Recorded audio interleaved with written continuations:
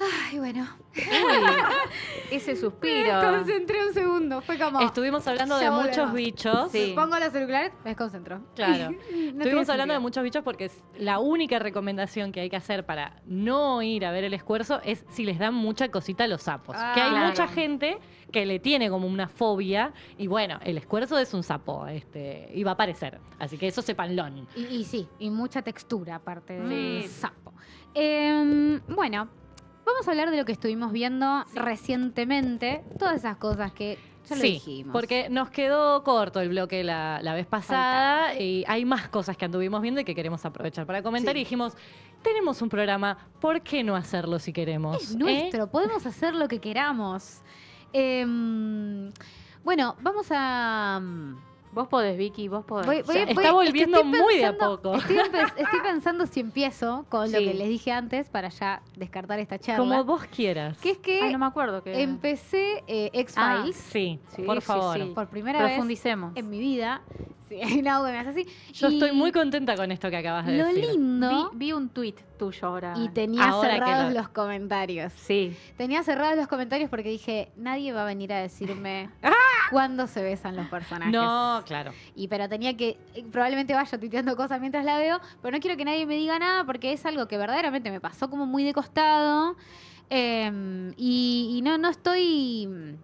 No, no está, no estoy como enterada de nada, ¿entendés? Claro. Es como sé que existió, vi algunas cosas cuando era más chica, pero estoy como totalmente a ciegas. Así que es como si yo sola estuviera viéndola, porque encima Qué nadie bueno. la está comentando. entonces- Claro, yo la veía mucho de chica, Sí. eh, la veía un montón, era una de las series de, de la casa, to- a todos nos gustaba mucho.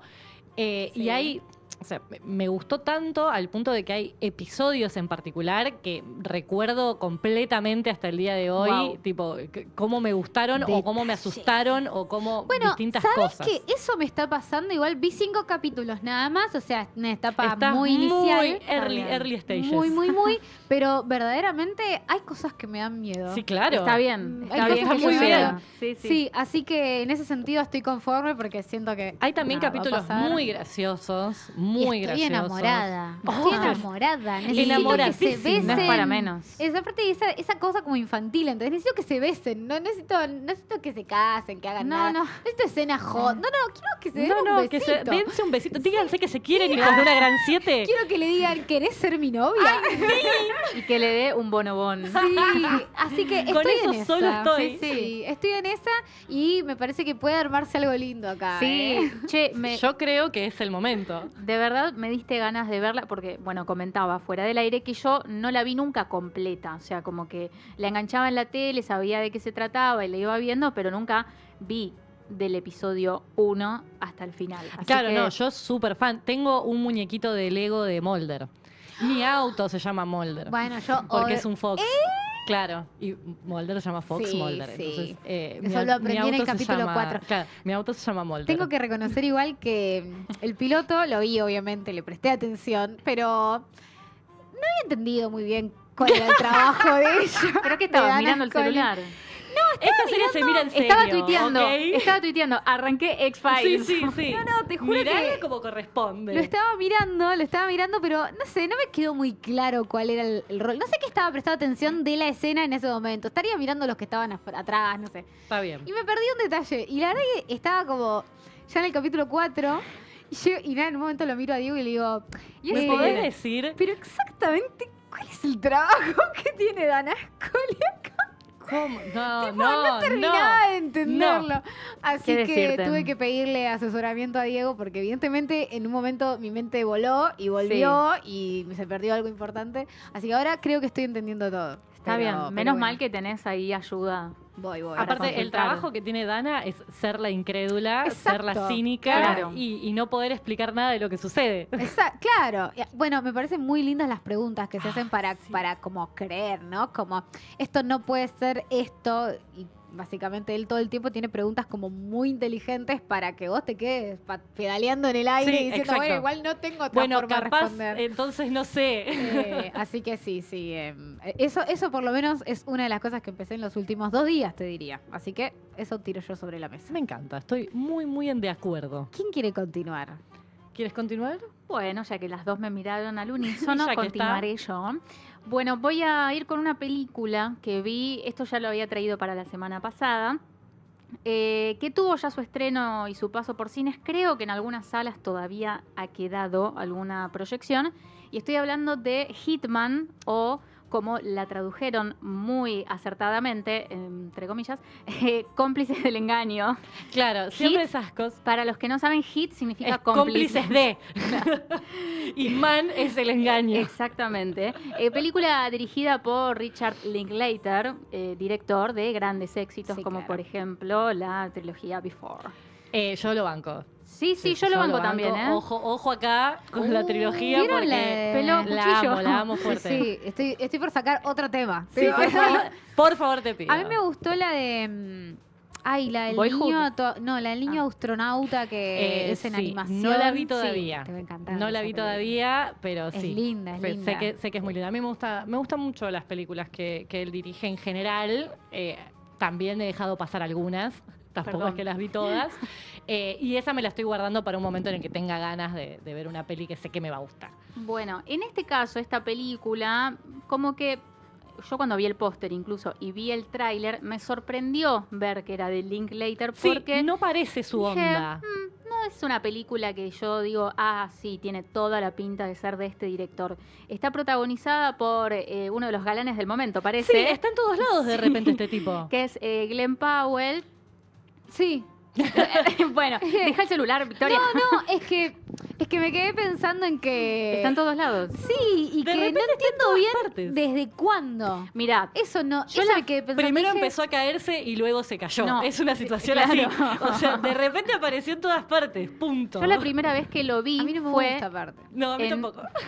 No, a mí él, o sea, como hombre, A nivel galán, no, no, o sea, me, me cae bien el actor por cosas que vi y me parece un buen actor. Sí, ¿no? sí, sí, sí, Entonces seguro. como que me parece un, tipazo, como le dicen ahora. Te pasa. Pero yo la primera vez que lo vi fue en una comedia romántica que creo incluso que ya o la traje yo o vos la trajiste y la charlamos, no me acuerdo, que es una película que está en Netflix que se llama Set It Up. Eh, que no, No sé sé. cómo la tradujeron, eh, que es de dos asistentes que quieren enganchar a sus jefes. Sí, sí, la hemos hablado. Que Me ahí- encanta que. No saben quién la trajo Sí. ustedes dos. Pero Bueno. está por ahí. Sí, sí, Así pero son, sabemos de, qué hablamos.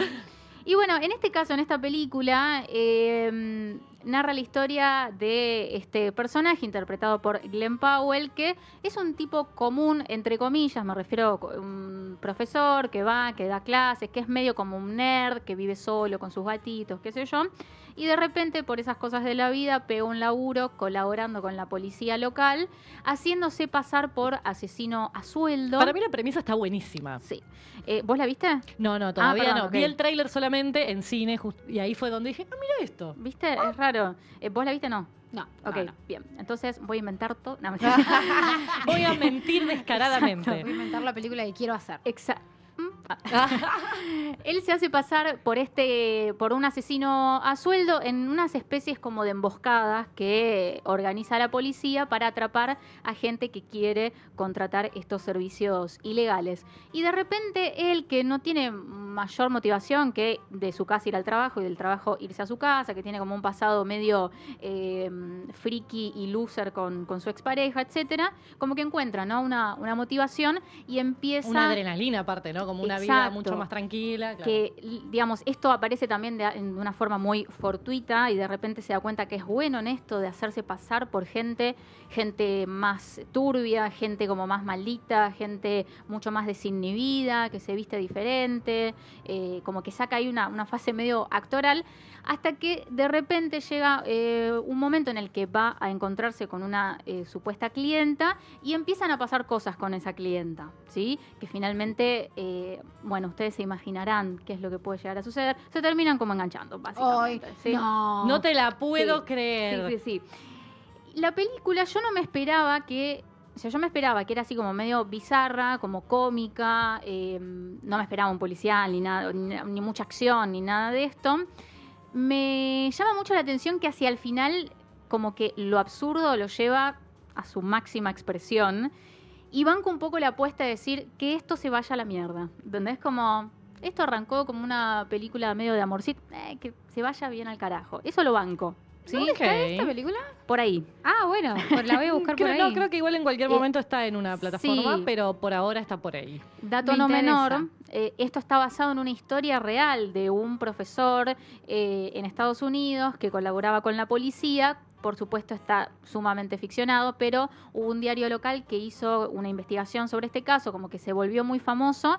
Entonces Linklater hizo este guion en el cual colaboró también en la adaptación para, para la película Glenn Powell. Así que ya se está empezando a meter en otros roles. Dijo, cuando se me caigan los abdominales, ya Dijo, dijo, tengo que aprovechar este momento. Exacto, este es mi momento, me tengo que agarrar de acá. Sí, Sí. y la verdad, a ver, insisto, no es una película que te va a cambiar la vida, pero a mí me pareció entretenida, por momentos bastante graciosa, banco que se va bastante al absurdo. No parece una película para mí de Linklater, pero banco la apuesta también.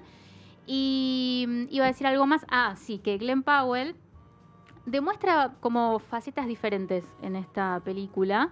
Que digo, bueno, eh, Hollywood está haciendo bien en darte tanta pantalla, no como otros. Pero Al final tenía sentido. Sí, sí, sí. Así que. Como- mm, no como otros, como quiénes, Cami, a ver. ¿De quién hablar? la quería meter. La verdad. A ver, ¿con Mm, no. qué estrella de Hollywood te vas, Te vas a pelear hoy? No, no, no, igual banco mucho toda esta camada así medio como eh, film Twitter, que están todos en todas las películas, eh, no sé, como en Gladiador, viste que Ay, juntaron a todos. cansa A Pedro igual. Pascal, a Paul Mezcal, al otro que no Yo me acuerdo cómo igual, se llama. Pedro Yo Pascal, sé- Paul Mezcal, me- quiero ver esa dupla, pero ya Sí. mismo estoy desesperada porque se estrene esa película y verlos a los dos. Pero me pudre un poco cuando Sí, aparece siempre todo. Sí, que es como tenemos tres actores, vamos a hacerlos hacer de todo. Eso ya nos pasa a nosotros. Claro. Que tenemos un Darín, un Franchella y, y los quieren poner a hacer de todos los roles: el encargado, el asesino, el, el- el periodista, el que es buen amigo. Es como, Sí. basta, basta. Déjenlo, suelten Por favor, un poco. un poco. Igual no sé si le sucede, pero estoy viendo que pasa mucho más con actores varones en este momento que con actrices Sí, mujeres. este- creo que es un ¿No? momento muy, sí, muy de los actores, es verdad. Donde se están Eh, repitiendo mucho varones particularmente. Sí. Sí. pero bueno, igual con ellos no tengo ningún problema. Si me No, están no, está escuchando, todo bien. Los queremos, Sí, los sí. querés, Cami, No los es una no es, no es con ellos, no es con ellos. por supuesto que no. Pero bueno, Hitman o cómplices del engaño, si lo van a buscar en castellano, a mí me gustó. He escuchado mucha crítica negativa, para mí un poco exagerada. Pero ¿quién soy yo para juzgar? Ah, No, se dedicaba a está eso. muy bien. Ay, bueno, me- me- igual me la vendiste, te digo. ¿eh? Yo, quiero tengo verla, ganas de yo verla. quiero verla. Sí. sí, sí.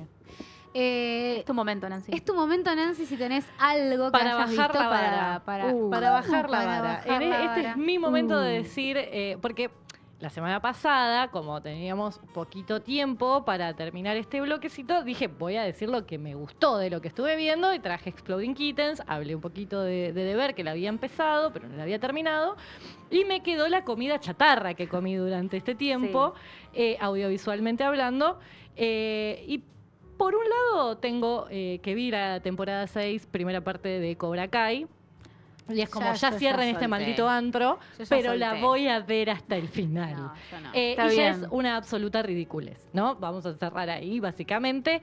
¿Estaban Eh, por las 6, parte 1? Sí, sí, sí, y ya, ya terminó Igual esa a mí me uno. parece, yo, a ver si me lo puedes explicar. A Nancy. ver, dale. Voy a hacer todo lo posible. Está en un momento No, muy por ahí de es algo- pedir explicaciones, Claro, Vicky. es que Sí, sí, estoy- necesita entender cosas, Vicky. doy por sentado que no lo estoy entendiendo yo y no es que está Ok. mal.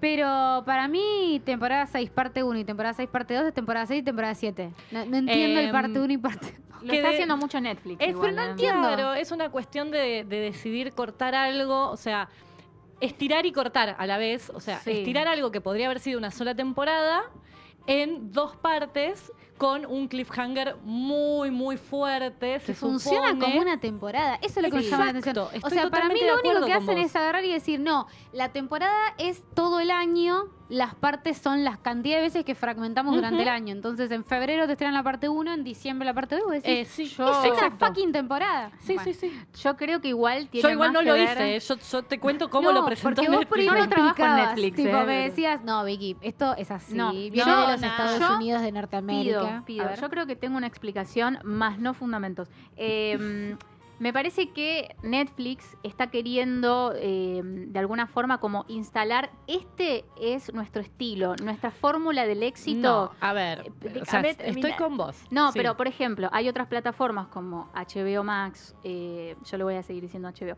Sí, eh, me, me gusta igual, o- porque Max no me, no me es no me- horrible. sí. O Prime Video que suelen tener estrenos semanales y funcionar más como a la vieja escuela. Y siento que un poco Netflix se quiere hacer el distinto y un par de veces le salió bien, entonces es como voy a morir en la mía y voy a seguir estrenando en dos partes. Sí, entiendo eso que decís y creo que viene por ahí. Ahora, tampoco inventaron nada, porque No, las temporadas no. largas de televisión, de cuando las series se daban en televisión, Como por ejemplo X-Files. Tenían la un- ley y el orden. UPE. Claro, tenían un mid-season que es un momento del año en Es donde se frenaba Claro. y tenían un parate y generalmente había un cliffhanger importante a mitad de temporada. Pero le seguían diciendo temporada Exacto. tal. Pero ahí y no parte uno, parte dos, ni nada. Que como decís vos, no inventaron nada, pero te vuelven a traer esto como si fuese algo nuevo con otro nombre. Y, El y- sombrero es nuevo. Y nosotros estamos ahí como diciendo, pero esto yo ya lo vi. Claro. Dale, nona, callate, nos van a decir. Y vos decís, no, no, Cuando te lo yo miraba la tele, le vamos a decir de Claro, unos años. exactamente. Che, toda esta tribuna de varones eh, futboleros es porque vinieron a ver el programa. No, o- están mirando el partido los hijos de una gran siete. Apagale Se la armó tele. una tribuna. Apagale la tele. Apagale la tele. Tienen el control ellos. ¿Qué te pensás? ¿Que nos lo iban No, a no, dejar no acá? a- ¿Pero qué me vas a decir? ¿Que no tiene Pero- botón Cami, parate ahí. Claro. Así baile. Tapales todo. gesticula. Bueno, Eh, eh, Nancy, pará. perdón, te interrumpimos. Eso, eh, pero lo único que voy a decir de, de esa temporada es que cada vez está todo como más llevado a un extremo en donde eh, parece que de verdad eh, se jugara el futuro de la humanidad en un torneo de karate de adolescentes. Listo. Cierro ese, ese, ese bloque. Sigo con la otra comida chatarra que, que deglutí en este, en este rato, eh, que es A Family Affair. La Uh, película que estrenó no Netflix, eh, dirigida por Richard La, la, Graven, la Gravenese, no sé cómo se dirá, La Wow. Gravenese, eh, y guion de Carrie Solomon. Yo lo que voy a decir es eh, mucho mejor, mucho mejor que The Idea of You. Ah, siendo pensé que iba a decir Irish Wish. No, no, no. Y- Siendo que comparten justamente un qué par de temas. Ah, ok, a ver. Sien- Porque tenemos... eh, Otra Ah, ya yendo. no, no, boy Edades. band no. En este caso lo que tenemos es una, em, una estrella de Hollywood, que es justamente el personaje de Zac Efron, que es Chris Cole. Ah, Él pensé que es- era ella la estrella. mirá. No, él es una estrella eh, consagrada por formar parte de una franquicia de superhéroe, digamos, a lo Marvel o, o DC. ¿Cómo no hicieron un chiste ahí de High School Music? Yo creo que faltó ahí un chistecito de High School Musical. No la vieron. Eh, no la vieron, no te contrataron a vos y no la vieron. ¿Cómo me Em, gusta High School Musical? Solamente voy a decir. lo sé. Nos juntamos un día a ver. Sí, Bueno. ya está, ni lo tuve que pensar. Ella no las vio. No, no, no porque soy o más sea, grande, chicas. Cami, Yo no, no me nos llegó. juntamos a verla. Bueno, en algún momento puede llegar a suceder. Sí. Em, pero la cuestión acá, él es una estrella de Hollywood consagrada desde ese lugar, eh, de actor eh, de una franquicia. Y ella, eh, la protagonista eh, más jovencita, que es la protagonista, digamos, de la película, eh, que es el personaje es Sarah Ford, interpretado por Joey King, es su asistente que entró a ser su asistente con la promesa de ser eh, una especie de productora asociada o de que él la, la iba a estar preparando para hacerse cargo de su, de su empresa productora, pero básicamente es un asistente de esas de eh, soy una estrella, Ah. tráeme el café, tráeme, anda, comprame tal cosa, está disponible para mí 24/7, etcétera, etcétera. Y su madre, la madre de, de ella, es Nicole Kidman, que es una escritora eh, consagrada, ganadora de Pulitzers y demás, que eh, está como un poco más recluida del mundo desde que falleció su esposo eh, y que está pensando en volver un poquito a, a la vida eh, y lo charla justamente con el mejor personaje secundario porque está interpretado por Kathy Bates, que es su suegra, la madre de este esposo fallecido. Oh. Y lo que va a pasar es que Fortuitamente, el personaje de Zac Efron y el personaje de Nicole Kidman se van a encontrar y van a empezar un romance que va a interferir, por supuesto, con la relación de ella con su madre y ella con su jefe, porque son esas cosas, son su jefe, son su madre, Claro. este, y todo eso que tiene que ver. Para mí eh, tiene un, un tono mucho mejor logrado, tiene diálogos mejor logrados, tiene actuaciones mejor logradas.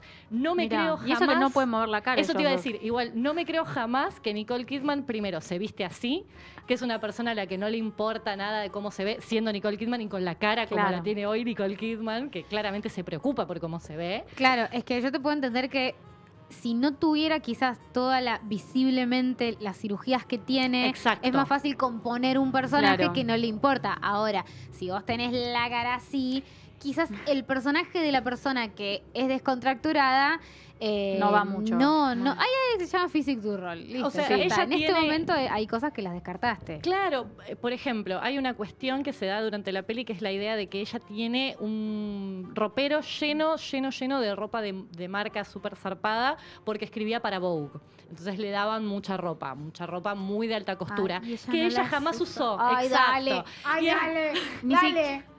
Ni aunque estés en pijama todo el día en tu casa. No, viste, no me la Ay. creo, no me la creo ni un poquito. Entonces tiene un par de cosas así, pero también me parece interesante que el tema de la diferencia de edad no es el problema, sino el problema son los roles que ellos Claro. cumplen en la vida de Sara. Eso está bueno.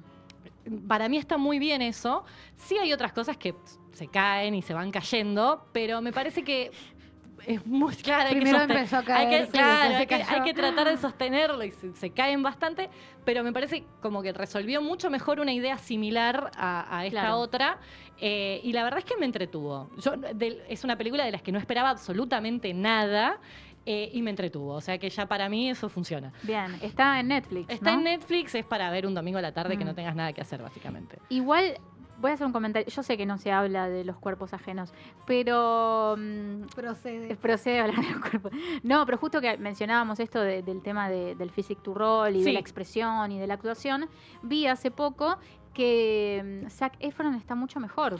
Eh, sí. Hay sí. algo que cambió. Sí. Sí. Como Como que- yo pensaba que era mucho más definitivo Claro, lo yo que también. sea que hubiera hecho y evidentemente o no era tan definitivo o, o estaba también eh, tocado tocada la imagen Él para dijo algo que tenía que fuerte. ver igual con, con que Se tuvo, quebró sí, o algo tuvo una así. quebradura, Ah, tuvo una mirá. cosa que no sé qué tan verdad o no será, porque también esas cosas a veces son Sí. excusitas para. ¿Vieron? eh, Perdón. pero bueno, eh, pero sí lo veo a él en, en comparación de, de rostros que no se pueden mover, lo veo mejor. Claro, Aparte lo él es buen actor, digo, Sí. estaba bueno que fuera expresivo porque puede ser expresivo, Sí. es expresivo. Y en ese sentido creo que él eh, lleva muy bien este personaje de, de- de tipo insufrible desde, desde un lugar en donde tampoco es que lo querés matar Claro. todo el tiempo. Y además no, te lo imaginas a él así, ¿viste? No, tal Entonces cual. es Sien- como... Sentís que es un personaje, eso está bueno.